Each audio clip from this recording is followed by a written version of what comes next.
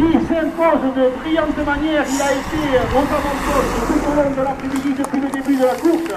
Premier donc Wilfried Devas, le lycéen.